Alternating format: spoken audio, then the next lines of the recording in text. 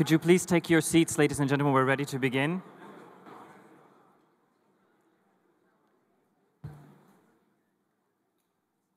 Deeply embedded within the World Economic Forum's mission and commitment to improving the state of the world lie our core principles of neutrality and active impartiality.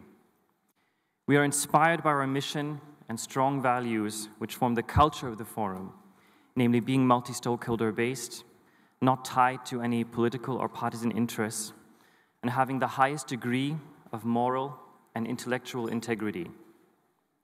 The World Economic Forum looks forward to making a significant contribution to the reconciliation process in Myanmar, and therefore today it is a historic moment where we will not only hear the perspectives of Daw Aung San Suu Kyi, but also later this afternoon, we have the honor of a special session with the Minister of Energy, U Than Htay, who has come as a representative of U Thein Sein, President of Myanmar. It is in this context that I now have the great privilege to invite Daw Aung San Suu Kyi and Professor Klaus Schwab for the session. Thank you.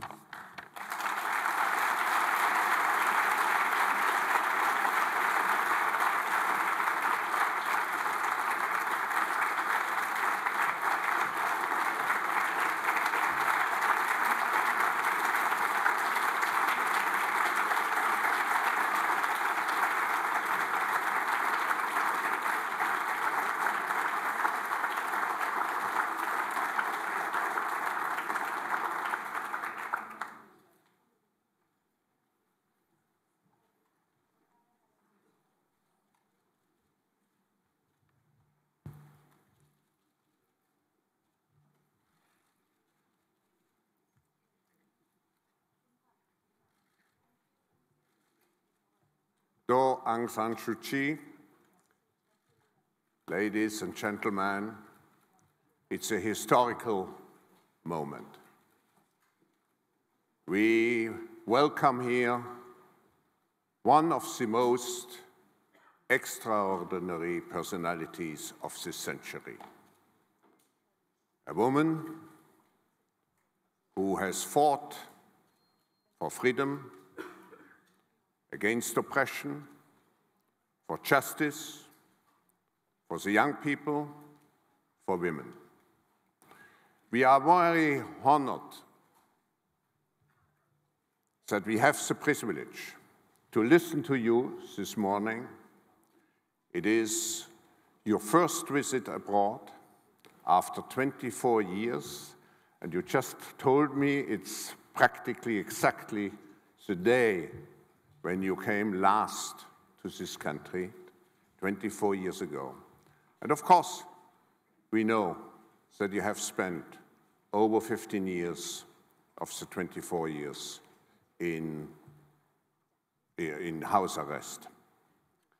We also welcome here a personality who has been distinguished for what she has done by practically every prestigious award and particularly the Nobel Peace Prize in 1991. It's an extraordinary person also in terms of her wisdom, in terms of what she has done for the idea not to be guided by fear, but always to be guided by hope. Daw Aung San Suu Kyi, we welcome you cordially here in Thailand. Please.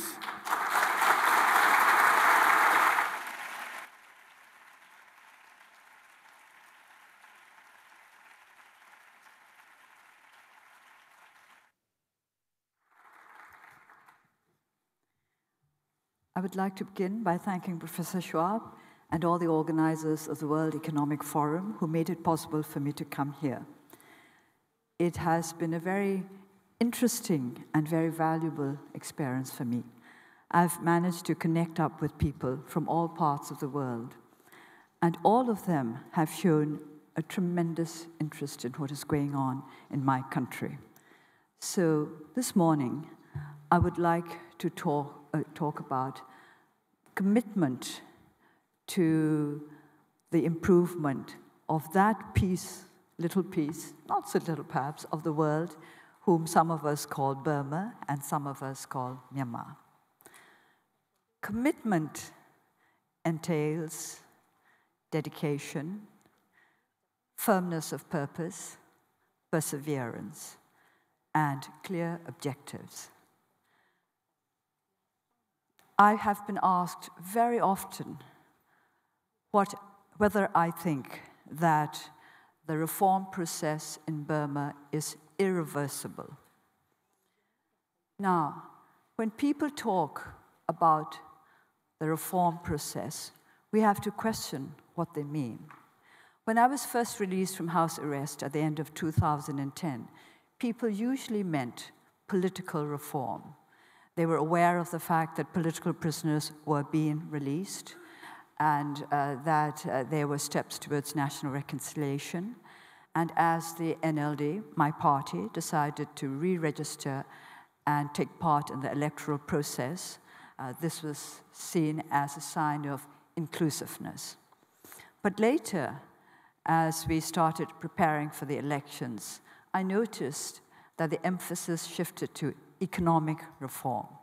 People, when they talked about reform, meant economic reform. With regard to that, there are many different opinions. I have heard people getting very excited over the momentum of reform in Burma. At the same time, I have heard others, some of them hardened entrepreneurs, saying, Reforms? What reforms? So, this is why I prefer to talk about improvements in our country, because reform could mean whatever it is that the person who is using the word may wish it to mean. But for me, reform means improvement to the condition of our people. Going back to commitment, when I'm asked this question, are the reforms in Burma irreversible? I say this depends on how committed the military is to this reform process. Now, I would like to expand this to say that our success will depend how irreversible the reform process is will depend on national commitment. There has to be commitment on the part of all of those who wish to improve the state of our country. We have to know what we want. This is why I'm so much in favor of this very simple motto improving the state of the world. We just want to improve the state of Burma. That's what we mean when we say reform. We do not mean the kind of reforms that may benefit any particular individual or group or organization, but the kind of reforms that will mean an improvement for our peoples in general. I deliberately use the word peoples because Burma is made up of many ethnic nationalities. We all make up the Union of Burma. This is why national reconciliation has been so very important for us. And now I think we should shift the emphasis from time to time from national reconciliation to national commitment. Because it is national commitment that will bring us both national reconciliation and improvements in our material conditions. I have been studying the growing volume of work on failing and failed states and how to fix them. And in all this work, I have been particularly struck by one finding put forward by Paul Collier. He mentions that uh, it has been found that a critical mass of educated people was important in fact, essential in order to make reform strategies work. And by that, by a critical mass of educated people, he meant a large population and a large proportion of that population with secondary education. This was what struck me secondary education. He was not talking about PhDs, he was not talking about university graduates. A critical mass of secondary, secondary education, uh, educated people was what was necessary in order to successfully implement reform strategies. Now, this is very much in line with my way of thinking. We need basic education in Burma. I have been emphasizing this for the past month or so because I think there has so far been too much emphasis on uh, tertiary education, even on postgraduate education. And I would like to explain that by basic education, I do not mean elementary education, but the kind of education that will enable our people to earn a decent living for themselves. It's as simple as that. The proportion of young people who are unemployed in Burma is extremely high. That, I keep saying, is a time bomb. For how long can these young people keep on depending on their parents, which is what they're doing, because they have no employment? And who are the people who are going to implement these sometimes quite ambitious reform strategies? Again and again, the, these, those interested in the new openings in Burma who have visited our country in, during the past month or two have remarked on the fact that there is a grave lack of people capable of carrying out the measures that, that the government is proposing. So, who are going to carry out these measures? How do we find the people to make, who, to, who will make sure that our reform process becomes irreversible? We need capacity, but not quite capacity in the way in which some organizations see it. We need capacity to be built from the ground upwards. And this is where I would like all of you to help. I would like you to think very seriously about how to build up a strong basic foundation for reform success in Burma. For the moment, please don't think too much in terms of how much benefits investment will bring to those who are investing. I understand that investors invest because they hope to profit from the ventures. Well, we agree with that, but we also hope to benefit from these investment ventures. Our country must benefit as much as those who have come in to invest there. So please think deeply for us. I have been listening to many speakers in this forum, and I was particularly struck by one comment, very simple comment, that we have to look to the question, questions of corruption and equality, inequality. And I absolutely agree with that. We have to try to eradicate corruption and inequality as we proceed towards greater investment. We do not want more investment to mean more more uh, possibilities for corruption. We do not want investment to mean greater inequality. We do not want corruption to mean greater privileges for the already privileged. We want investment to mean, quite simply, jobs, as many jobs as possible. It's as simple as that. Job creation is extremely important in Burma and together with George, job creation must go training, the kind of training that will enable our unemployed young to take up jobs, vocational training.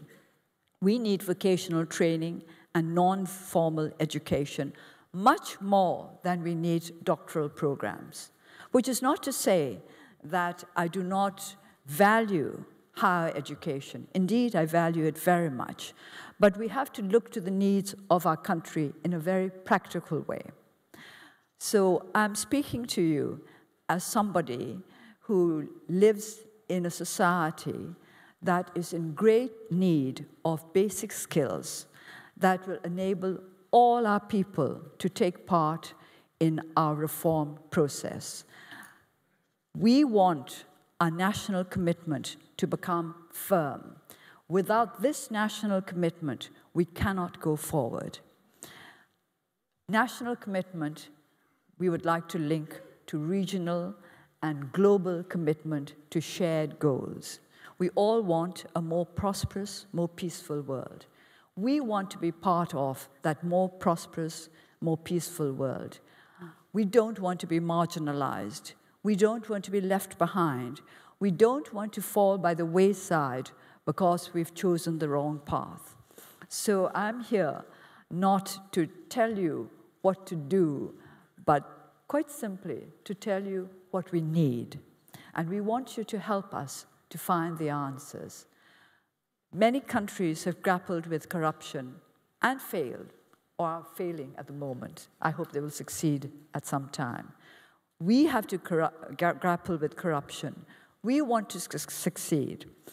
I keep telling our people it's true that we're behind everybody else, but that means we can learn from the mistakes of everybody else. And in that way, we will avoid making these mistakes. And, and as uh, our well wishers keep saying, we can leapfrog and get to our goal quicker than we might otherwise have done if we had not been aware of the mistakes made by others. So, in this meeting, I would very much welcome suggestions from all or any of you, I don't think all, because I suppose there won't be time for everybody to make suggestions, uh, as to how we can cope with the problems of a country which is yet uh, at a, still yet at a stage when we are working towards national reconciliation. You have to accept that we have not yet achieved it. So we are trying to achieve national commitment to national reconciliation and development. So please, ideas, suggestions, practical ones, and please, please think of the opportunities that Burma is offering the world as opportunities for you as well as for us. I will take any questions that Professor Schwab and all of you may wish to put to me. So, but that is all I have to say. Please help us to meet our needs, and I think you will find it a very, very worthwhile thing to have done. Thank you.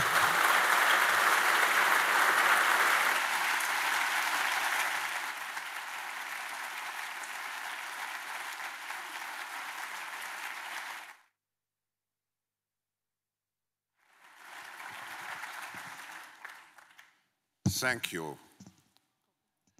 Now, if I may just come back to two words and two um, definitions you used. One was improvements. Can I ask you, uh, Aung San Suu what would be the priorities which you would see for such improvements? I have to say job creation because I'm extremely worried about the high level of unemployment in my country, particularly youth unemployment. As I mentioned earlier, that's a time bomb. Many of our young people are already uh, following the wrong path. They sit around at tea shops, but what is worse, some of them sit around at toddy palm shops. And you know what toddy palm is, it's, it's, uh, it's our cheapest alcoholic drink. So and some of them have taken to drugs, some of them have taken to gambling. If this goes on, we will not be able to reform them, let alone reform our country. So I keep saying what I'm afraid of is not so much joblessness as hopelessness. If our young people start losing hope, we will have a big problem on our hands. So, job creation. If I may come back to also to the other expression you used, the national commitment, in what form would you like to see this national commitment expressed? as commitment to national goals rather than, than uh, to goals that are really for the sake of empowering any particular group or organization. I think we need to empower our people. This is one of our first national goals. Without the empowerment of the people, it's no use talking about democracy. We can talk about democracy, democratic reforms, but if we don't empower our people, if we work to increase their dependency on the powers that be, then we will not achieve our democratic goals. An empowerment of people, of course, requires what you emphasize so much, education, training, a building of uh, capabilities. Um, as far as the system inside which those empowered people should evolve, uh, how would you see the system? The, the political system particularly. At the present? Yeah. Now, the political system at present is one which is supposed to be democratic. But I cannot say that we have really achieved all the necessary basics of a genuine democratic society. But I would like to take up what you said earlier about how to empower people, mm-hmm. just by giving an example of how I am trying to empower the people in my constituency. It's very simple. We let the people decide for themselves as far as possible how they can improve their lives and how they will go about that. For example, we started with a very small project. Uh, we had a raffle on New Year's Day, Burmese New Year's Day, which was on the 17th of April, uh, cash prizes for three villages. And uh, the winning villages were asked to choose what they wished to do with the money for their community. And uh, we, would, we provided them with technical advice, with legal advice. But it was up to them to decide for themselves how they wish to spend them, their money to help the community, to improve the conditions in their, improve conditions in their community. And it was amazing how quickly they understood what was expected of them when they were told that they could decide, but it had to be by consensus. Everybody in the village would be allowed to take part in the discussions. Well, children could sit in, even if they couldn't understand what was going on. And we made it quite clear that we would make no distinction between members of the NLD and members of other political parties. All villagers had to take part in the decisions. It, it worked amazingly well. We, uh, the, we won the elections two months ago, and these, in these two short months, I think some of our constituents are beginning to learn what it means to be members of a democratic society. No, Aung San Suu Kyi, you emphasized already, and this is a deep belief also of the World Economic Forum, that business has not only to contribute to economic development, but also to social progress. Now, in Davos, in your, we were very fortunate that you addressed us already three months after you have been released from house arrest in 2010, so you, you had a communication 2011. And this year, in your video message, you said, um, that economic progress is dependent on more than just fiscal and monetary measures, need to be upheld by judicial and legislative reforms to ensure that sound regulations and laws are administered justly and effectively. Now, I, I, I take this statement and enlarge it a little bit. Um, how do you see the evolution of the judicial uh, framework in your country? You're setting me off on my favorite subject. I'm afraid I'm going to be a terrible bore.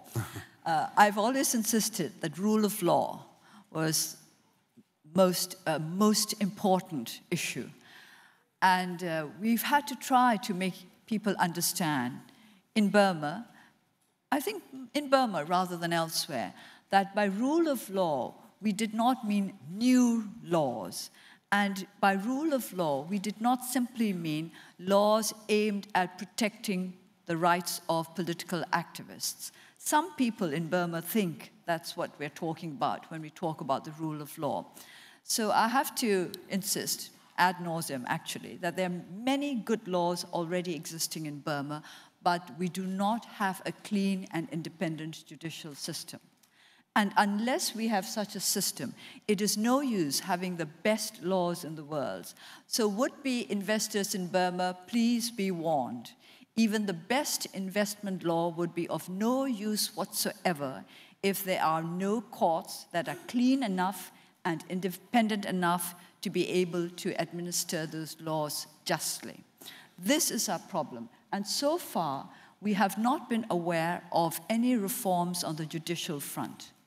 We keep saying we need judicial reforms, but I have to confess that not many in the government seem to agree with this. They do not seem to think that there's a need for judicial reform, or perhaps they don't think there's an urgent need for judicial reform.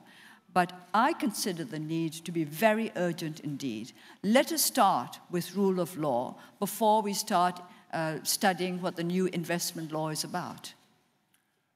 Now, I would come back to this um, uh, word of national reconciliation. Um, Burma, Myanmar, has a very ethnically diverse uh, population with very distinct cultures. How can you bridge those differences and achieve national unity and commitment? It's mutual respect, because mutual respect engenders mutual trust. And I say that this from experience. This is not a dream. For the last two decades, we have been upheld by the strong uh, support of ethnic nationality political parties. They are the organizations which have stood most firmly by us. Whenever we were going through difficult times, our ethnic nationality allies were always with us. So I can say from personal experience that it is possible not only to bridge our differences, but to build up a strong foundation of trust. We trust one another. When we were in trouble, we looked to the ethnic nationality parties to be by our side. I'll have to be quite open and say, not to other Burmese, ethnic, ethnic Burmese based political parties, but to ethnic nationality political parties. So it works. We can learn to work together, to trust one another. The, the gap is nothing like unbridgeable. Billions of people have been on your side when you were confined to house arrest. Now you are the official chairman of the National League for Democracy, the opposition leader. What would you expect from the world to support you? And I have to add, to support the uh, reconciliation process, not only as far as different people are concerned, but also politically in your country. How can we deal with the two sides, if I may ask you, well, we to make to, sure to yes. what we are doing today, but uh, to make sure that um, the country goes into the direction of democracy, reconciliation, peace, and strong economic development? We need a balanced approach. We would like the world to look at how much progress there has been on the political front, as well as on the economic front. I would not like you to be over optimistic. I think optimism is good, but cautious optimism. These days, I'm coming across a, a, lot of what I would call reckless optimism. That is not going to help you, it's not going to help us. So we need a balanced report. A little bit of healthy skepticism, I think, is in order.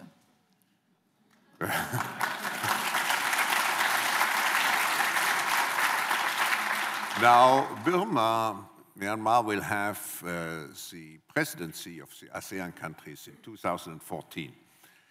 So that's in some way a benchmark. What would you see to be concretely achieved by 2014, and how should the ASEAN partners uh, reflect on what they would like to have achieved by 2014? What will be achieved by 2014 will depend to a certain extent on the other ASEAN nations. You must know what you want Burma to achieve, and you must let Burma know what you want it to achieve. I believe in working for whatever we want. I don't believe in handouts. So ASEAN should not engage in handouts. You must demand from Burma as well. You must tell them what you expect for them, from them. You must tell them what you expect from the future chair of ASEAN. I think that is very much in order. We must all learn that we don't get anything for nothing. And this is a very simple, basic lesson that I keep repeating to our people. We don't get anything for nothing. And there is no use in hoping unless you engage in genuine endeavor. No endeavor, no hope. That is a very simple formula. And I think ASEAN must, ASEAN must insist on this. ASEAN must let Burma know what you expect from its chair of 2014.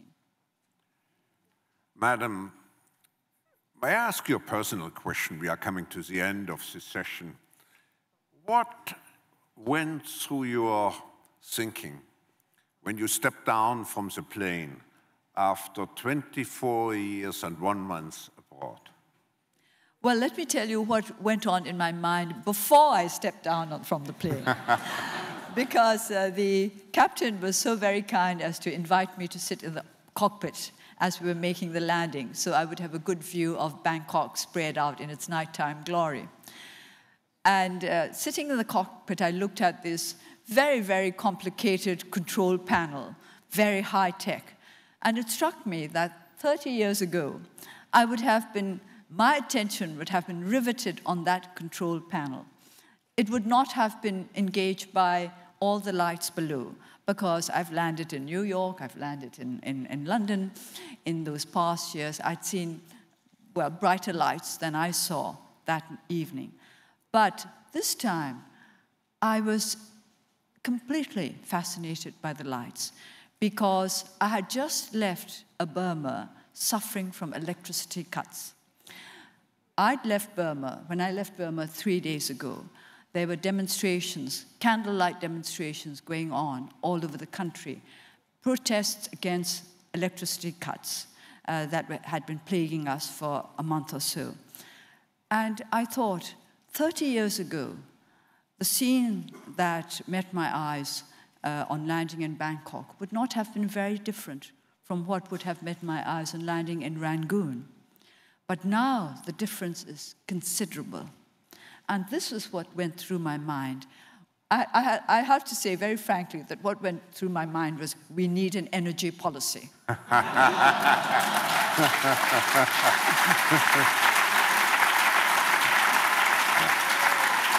now, may I add, uh, before we conclude, another personal question? You had the admiration of the world because you showed so much strength during those many years of struggle. What gave you the strength? I was asked a question similar to this by young shapers, and I said DNA had a lot to do with it. But I think uh, I should have mentioned something equally important. It was my mother who taught me to be disciplined and to put duty above everything else. She did this not just by teaching me how important duty was, but by acting out her belief in the primacy of duty. Because she taught me that duty mattered more than anything else in life. I don't know whether all of you agree with me or not. And of course, then we can argue about what is meant by duty. It uh, became second nature for me to try to discharge my duty as far as I was capable. I can't say I've always been good in the sense of I can't say that I've always put duty before everything else, but I have tried.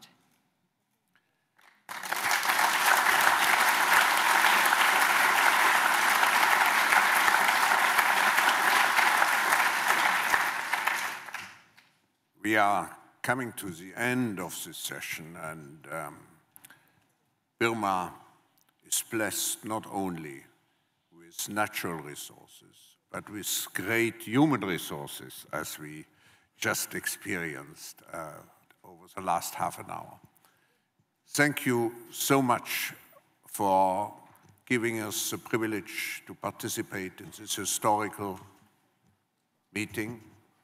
And I can certainly speak on behalf of all the participants if I say you have also in the future, in a very difficult situation, it will be difficult, uh, um, but uh, I think we all can be hopeful.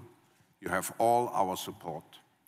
We want to contribute to a Burma which corresponds to your objectives, peaceful, just, great engagement and empowerment of people, and particularly also a country with an engaged, young, and capable and well-trained young population. So thank you again, Daw Aung San Suu Kyi, to be with us this morning. We wish you all the best.